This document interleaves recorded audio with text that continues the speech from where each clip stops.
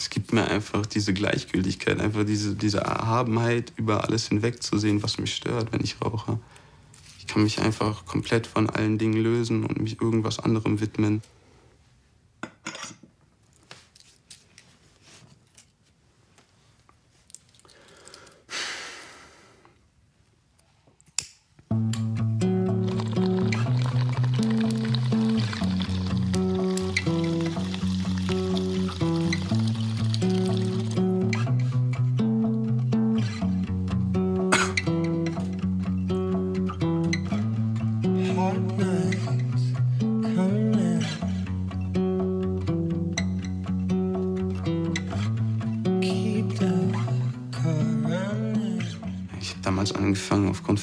Verluste, die mich einfach so runtergezogen haben, dass ich nicht wusste, wie ich mit meinem Problem einfach fertig werden soll. Das hat mich einfach total depressiv gemacht und meine Laune wirklich runtergezogen bis ins tiefste Loch. Und das war dann so für mich irgendwie einfach wie, keine Ahnung, das hat mich dann einfach als einzige Lösung irgendwie stand das dann für mich vor. Irgendwie. Ich wusste dann nicht, was ich sonst machen soll konnte mich einfach nicht ablenken anders und, und dachte mir dann, das wäre vielleicht ein, eine Möglichkeit, ein Weg irgendwie, sich halt einfach sein Problem zu stellen, auf eine andere Art und Weise.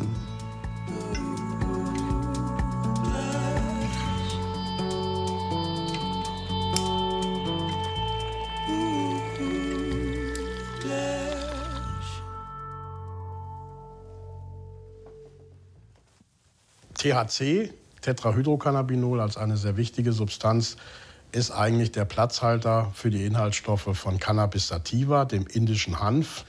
Aus dieser Pflanze werden verschiedene Zubereitungen gewonnen, seien es die getrockneten Blätter oder Blütenspitzen als Marihuana oder auch das Harz der Pflanze als Cannabis oder Haschisch.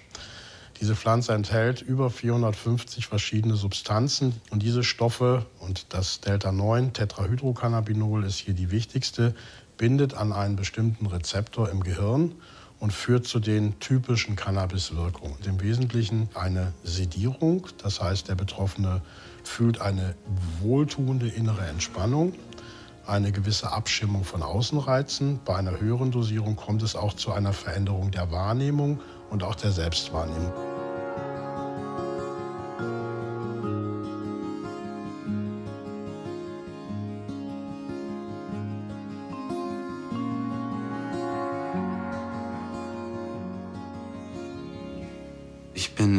Großstadt groß geworden, bin jetzt 22, konsumiere täglich THC.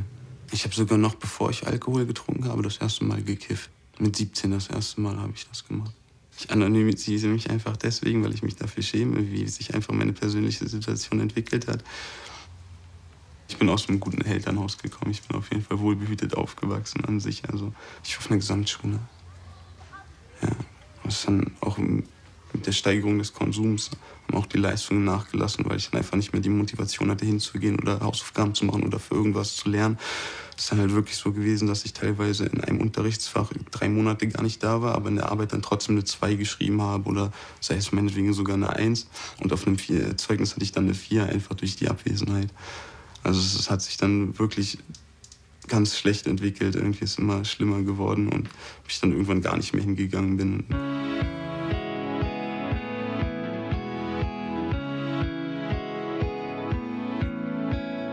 Glaube nicht, dass ich durch meinen Konsum von, von Cannabis irgendwas unterdrücke. Also eher im Gegenteil, das ist eher so ein Moment des Loslassens.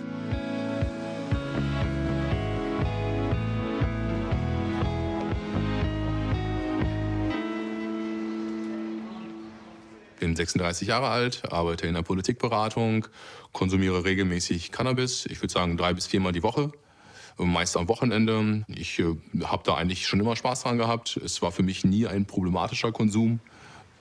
Es ging so mit 18, 19 Jahren los ähm, was ich eigentlich auch so ein, ein gesundes Einstiegsalter finde. ähm, ich habe einfach Leute um mich herum gesehen, die es äh, anscheinend doch zu keinen Zombies geworden sind, wie ich es gedacht habe, als wenn sie gekifft haben. Und dann war es auch okay für mich, dann einfach mitzurauchen. Der Rausch ist für mich etwas äh, Leichtes, Euphorisches, äh, Beschwinglicheres. Die, die Emotion verstärkt sich, äh, die Empfindungen verstärken sich. Ähm, musikalisch, wie gesagt, Musik ist vielleicht immer so, so, ein wichtiger Aspekt in dem Fall. Die Musik ist irgendwie kommt äh, bunter und doller zustande und also Rausch ist also eigentlich immer positiv.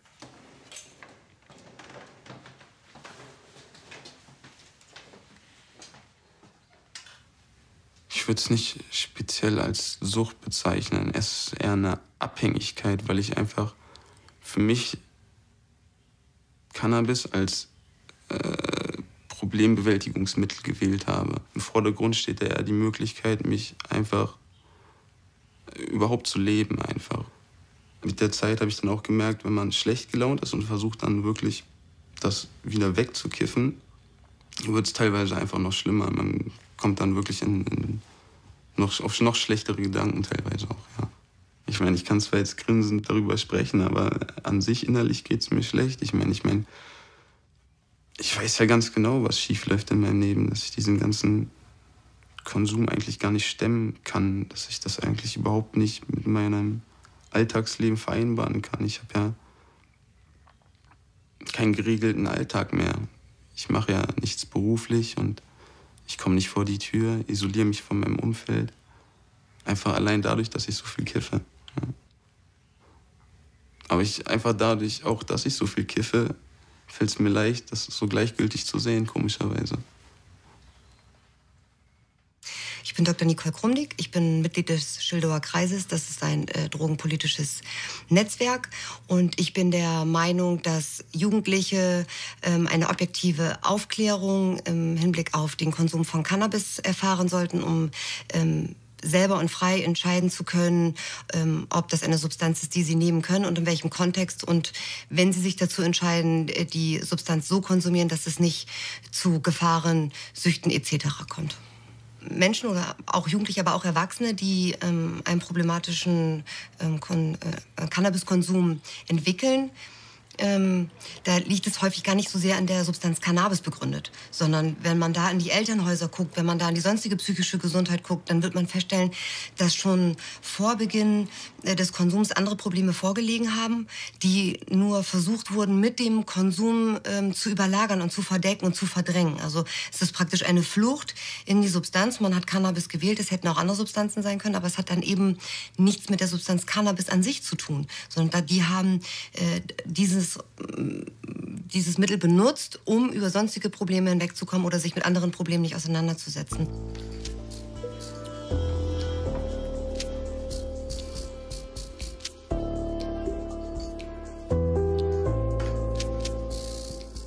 Ja, bis vor drei Jahren habe ich Cannabis eigentlich am Ende fast nur, äh, also immer geraucht, äh, meist durch Bon, weil war für mich irgendwie effizienter. Und äh, Rauchen mochte ich halt nicht so gerne. Mir tat die Lunge weh. Ich äh, merkte, dass der Spaß daran einfach äh, durch, den, durch die, das Unangenehme in der Lunge einfach äh, verloren gegangen ist. Und da ich schon früher auch immer wieder mal natürlich bei besonderen Anlässen hat man immer was gebacken oder einen Kakao gemacht, habe ich immer mehr und mehr äh, dann irgendwie mich auf Brownies äh, um, um, bin ich umgestiegen. Die Wirkung beim Essen ist auf jeden Fall anders, äh, weil sie ist nachhaltiger. Äh, sie ist intensiver, sie ist besser dosierbar. Auch die Euphorie äh, ist auf jeden Fall ein bisschen mehr da, wenn man gegessen hat. Wenn ich Brownies backe, ist es ziemlich genau dosiert. Ich packe immer so 3,5 Gramm rein und äh, dann weiß ich ganz genau, dass einfach in einem Stück ungefähr 0,1 Gramm sind. Es ist immer so, dass es ungefähr nach einer Stunde anfängt zu kribbeln und nach anderthalb Stunden wirkt es richtig. Gesellschaftliche Ereignisse, so mit Leuten, äh, kenne ich mich fast gar nicht so, dass ich, dass ich dann nüchtern hingehe. Ich hat sich das bei mir so eingebürgert, dass ich einfach kurz nach Hause komme äh, und äh, da mir einen Brownie reinpfeife und dann reinpfeife, esse. und ähm, äh, dann gehe ich einfach los. Also das ist so, das gehört einfach so ein bisschen dazu. Also Leute setzen sich auch in eine Bar und trinken einfach ein Bier und ähnlich ist es bei mir.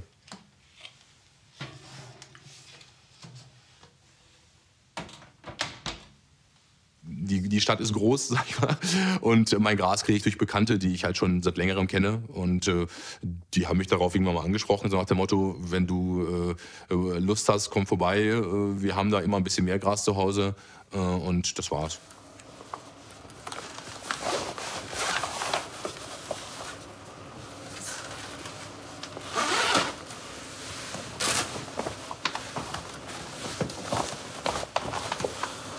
So, das sind jetzt hier zwölf Pflanzen, etwa eine Woche alt von äh, der Sorte Bubblegummer. Die Pflanzen werden ungefähr so 1 Meter bis 1,20 Meter groß. Höher dürfen sie dann auch nicht werden, sonst kriege ich Probleme mit der Lampe. Ähm, die Schränke sind sehr praktisch, weil äh, die luft- und lichtdicht sind. Und das hilft mir natürlich, das Ganze so ein bisschen versteckt zu halten. Ähm, ja, das Ganze wird halt bewässert mit einer Tröpfchenbewässerung. Hier haben wir einen Nährstofftank und hier haben wir einen zweiten Tank, wo das trainierte Wasser, was überläuft, ähm, abfließen kann. Ähm, eine Belüftung, damit die Luft zirkuliert. Dann haben wir noch einen ähm, Aktivkohlefilter, der die Abluft ein bisschen filtert, damit die Gerüche nicht so nach außen kommen. Ich habe hier zwei Schränke. Äh, mit der Methode, die ich hier gewählt habe auf Kokos, äh, bin ich jetzt so ähm, beim Durchschnitt von einem halben Kilo pro Zelt alle zwei Monate. Der Preis, den ich für diese Sorte ansetze, liegt jetzt, je nachdem, wie viel man kauft, also durchschnittlich würde ich sagen 6,50 Euro nehme ich pro Gramm. Was jetzt gemessen an den Straßenkursen eigentlich ein recht guter Preis ist. Ich würde schon sagen, dass ich so alle zwei Monate ungefähr ja, zweieinhalbtausend Euro damit verdiene. Die meisten meiner Kunden kommen eigentlich regelmäßig, also äh, kommt natürlich immer drauf an, kaufen dann meistens so im Durchschnitt 50 bis 100 Euro. Und ähm, das hält dann, würde ich sagen, so ein, zwei Wochen und dann sehe ich die spätestens wieder. Mein Kundenstamm besteht eigentlich nur aus Freunden und Bekannten. Ich denke, ich bin kein konventioneller Dealer. Also wenn man es rein objektiv betrachtet, kann man natürlich sagen, ja, ich verkaufe Rauschgift an, ähm, an Leute. Aber ich mache das nicht, um Geld zu verdienen. Also ich habe ein anderes Einkommen. Das ist eigentlich mehr so ein äh, Hobby, was ich nebenbei betreibe. Jetzt persönlich würde ich das eigentlich mehr als einen Freundschaftsdienst betrachten, was ich betreibe.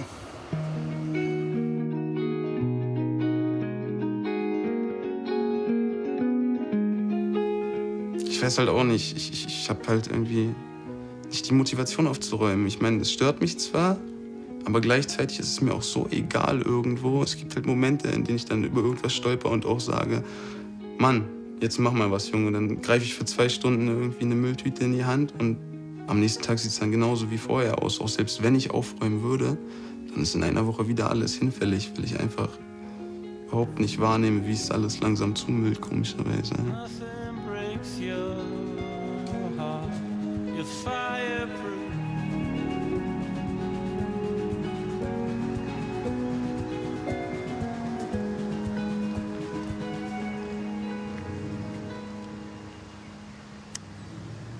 Kann mich auch kaum noch zurückerinnern, was ich jetzt die letzten Jahre eigentlich gemacht habe. Für mich ist die Zeit vergangen wie, also aus einem Jahr sind vier Jahre geworden, vielleicht gefühlt einfach.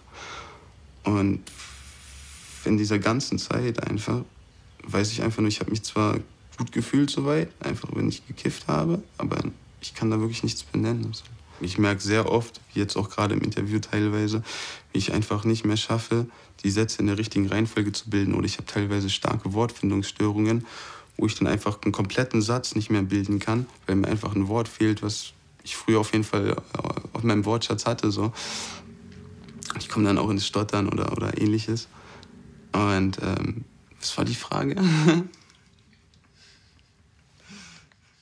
Es ist sofort nachvollziehbar, dass es völlig unterschiedlich zu bewerten ist, ob jemand zum Beispiel am Wochenende gelegentlich THC in geringen Mengen konsumiert, zum Beispiel anstelle von Alkohol, oder ob jemand täglich von morgens bis abends unter der Wirkung von THC steht. Letzteres hat natürlich Konsequenzen für die intellektuelle, emotionale und auch soziale Entwicklung von Individuen. Und wenn wir jetzt bedenken, dass es sich ja sehr häufig um recht junge Konsumentinnen und Konsumenten handelt, hat das Ganze natürlich schon negative Konsequenzen, zum Beispiel für die schulische Entwicklung, für die emotionale Entwicklung und die intellektuelle Entwicklung.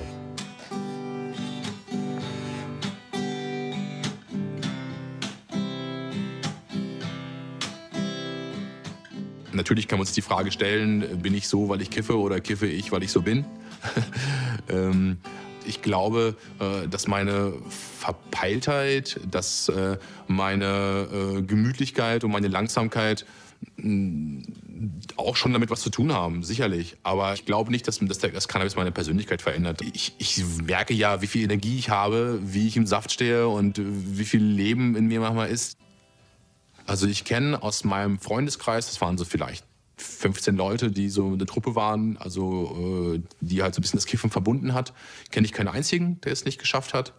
Ähm, erfolgreich zu sein. Ja, also es gibt Professoren, es gibt äh, Unternehmensleiter, es gibt Unternehmensberater.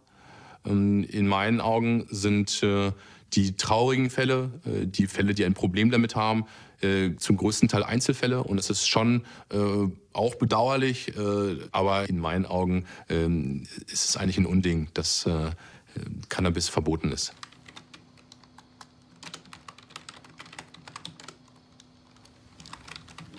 Ich würde auf jeden Fall gern was aus meinem Leben machen.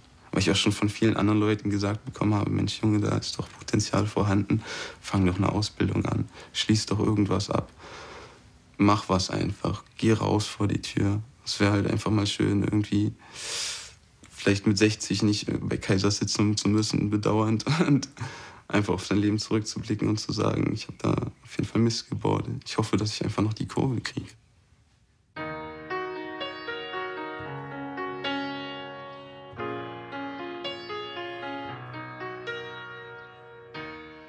Ich bin 16 Jahre alt und bin in einer Kleinstadt groß geworden.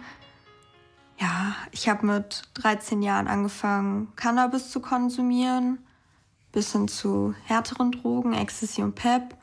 Die härteren Drogen habe ich ähm, sechs Monate konsumiert regelmäßig. Ja. Und das Cannabis halt drei Jahre lang. Und mittlerweile mache ich seit neun Monaten eine Therapie und mein Ziel ist es, abstinent zu bleiben und nie wieder was mit Drogen zu tun zu haben. Ich habe die Augen zugemacht und habe eigentlich nur so, so wie Kugeln gesehen und dass ich halt in den Kugeln drinne bin und so total komisch war das so. Ich war das erste Mal richtig so auf Drogen und, und dann haben wir halt die ganze Zeit weitergekifft und es war schon lustig, aber so als ich dann umgekippt bin und gebrochen habe, war es dann halt nicht mehr so lustig und ich wollte es halt einmal ausprobieren, aber auch nicht mehr. Ich wollte es nicht jeden Tag konsumieren und ja.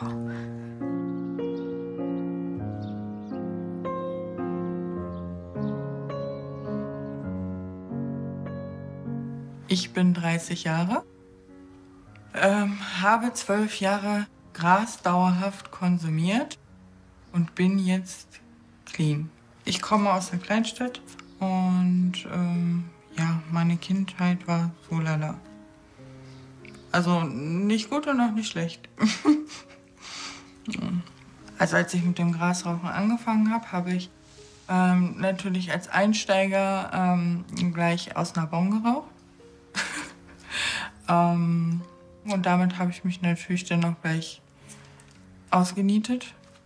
Ähm, habe ein Hustenflash bekommen und lag erstmal, glaube ich, drei, vier Stunden auf dem Balkon und habe gar nichts gemacht.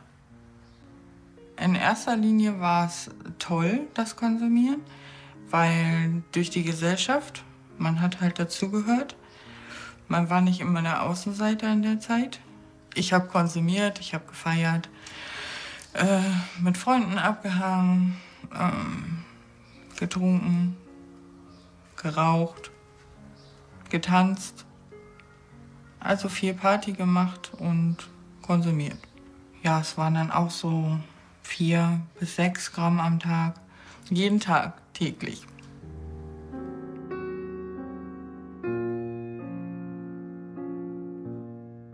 Irgendwann war das halt so, dann hat man sich jeden Tag zwei, drei Gramm geholt.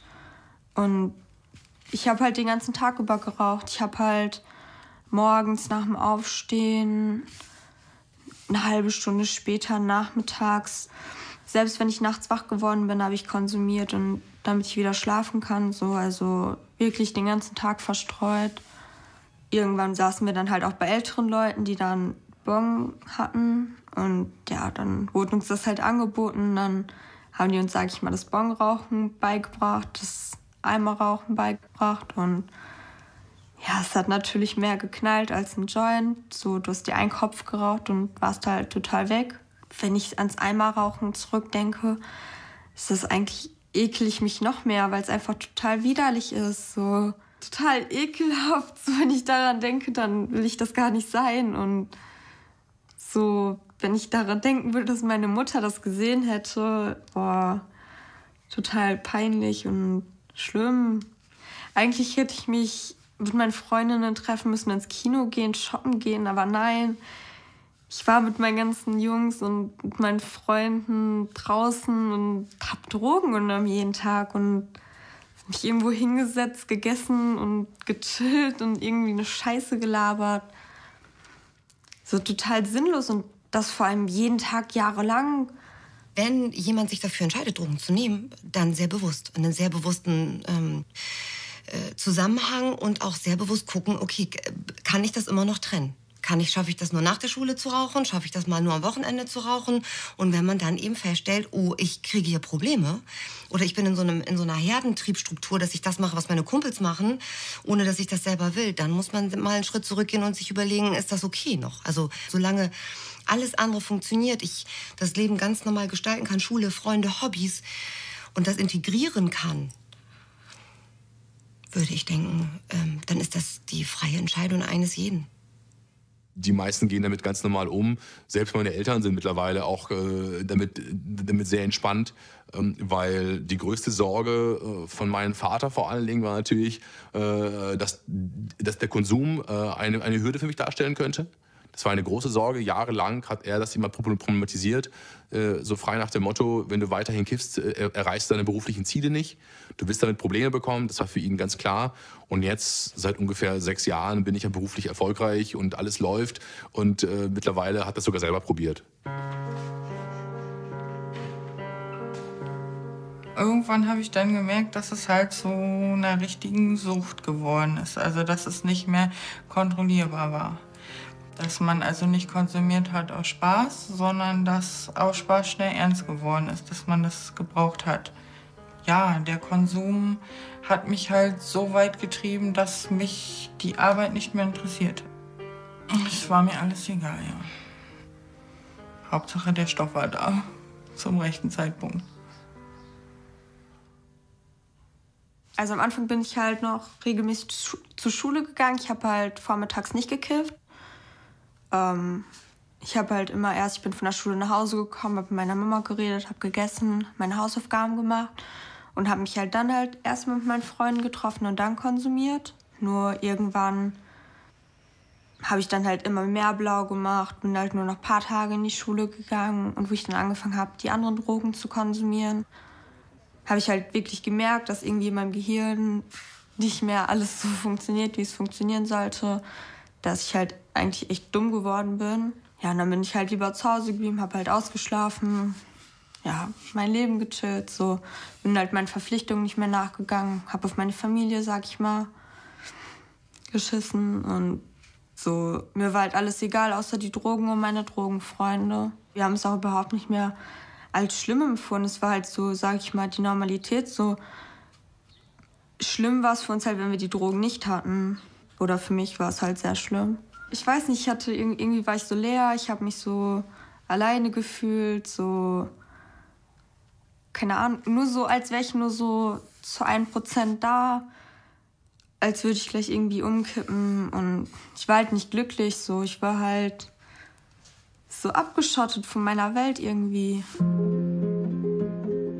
Ich habe ja über Jahrzehnte oder ja, kann man ja so sagen, habe ich konsumiert und ich hatte halt Angst vor der Realität. Also das war schon sehr extrem schlimm. Irgendwo war dann der Klickschalter, wo ich gesagt habe, so geht's nicht weiter. Es muss noch ein Stück weit musst du noch leben, weil ansonsten ja, kannst du dich mit den anderen irgendwann zusammen ganz früh ins Grab legen und das war es mir irgendwann nicht mehr wert in der Zeit, wo ich halt mit dem Grasrauchen aufgehört habe, war eigentlich mehr Tag als Nacht. Also man konnte nicht schlafen, alleine durch die Schweißausbrüche und alles, das man hatte. Ich äh, ja, hätte die Wände hochklettern können, ich hätte äh, Leute boxen können. Also ich war sehr aggressiv. Äh, ich habe schon Suchtverlagerung. Ähm, da ich halt nebenbei der Zigaretten rauchen halt auch noch aus meiner Bon rauche. Ähm, aber jetzt ohne halt Gras oder so, sondern einfach normalen Tabak. Ich weiß nicht, was es ist, aber es ist, ähm, es lässt mich halt noch nicht ganz los.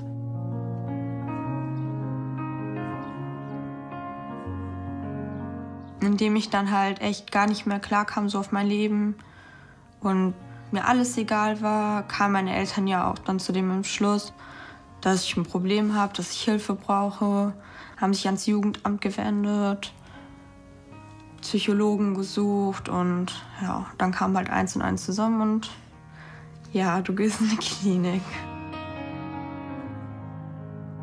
Ja, dann habe ich halt überlegt und überlegt und dann habe ich mich halt irgendwann auf das Angebot, sage ich mal, eingelassen. Ja, wie viel ich eigentlich kaputt gemacht habe in der Beziehung zu meinen Eltern. Und zu sehen, wie stolz die jetzt auf mich sind, das macht dann halt richtig glücklich und gibt einem halt richtig viel Kraft, so hier zu bleiben und das halt durchzuziehen, so, weil ich würde nie in meinem Leben mehr Drogen, sage ich mal, vor meine Familie stellen. Nicht mal, ich würde Drogen vor nichts stellen. Wenn ich jetzt so an die Zeit zurückdenke, ekel ich mich richtig was ich gemacht habe. Ich schäme mich richtig dafür, dass ich meine Eltern beklaut habe und wie verletzlich die habe und dass ich einfach, dass mir es einfach egal war, so völlig egal. Also mich hat das überhaupt nicht interessiert. Deswegen bin ich echt froh, dass ich jetzt eigentlich hier bin.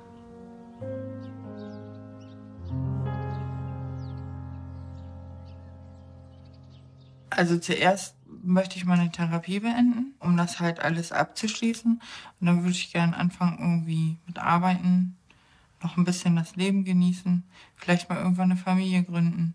Ja, als Malerin würde ich gerne arbeiten. Könnte mir aber auch vorstellen, als Reinigungskraft noch zu arbeiten. Da ich leider keine Ausbildung habe, ähm, ist es halt nicht einfach mal zu sagen, man, ja, man muss sich da halt oder kann sich auch nicht ausmachen, dass man halt einen Job kriegt, der irgendwie. Ja, also Reinigungskraft wäre schon ganz in Ordnung.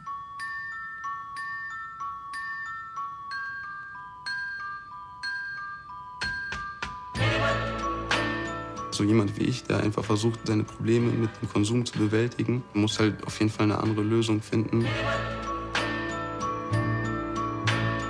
Ich finde es bedauerlich, dass Leute wie ich und Millionen anderer Menschen verfolgt werden in unserer Gesellschaft, äh, weil sie etwas konsumieren, was aus unerklärlichen Gründen verboten wurde. Das Leben ohne Cannabis ist einfach besser. So, man ist einfach bei sich, so man lebt in der Realität und nicht an der Realität vorbei. So. Der Mensch wird immer nach Mitteln und Wegen suchen, ähm, sich zu berauschen. Und dann ist es meines Erachtens die staatliche Pflicht, dafür zu sorgen, dass, ein, dass die Gesellschaft dies tun kann und nicht mittels Verbotes dann noch kontraproduktiv für mehr Gefahr gesorgt wird, als eigentlich der Rausch an sich äh, mit sich bringt. We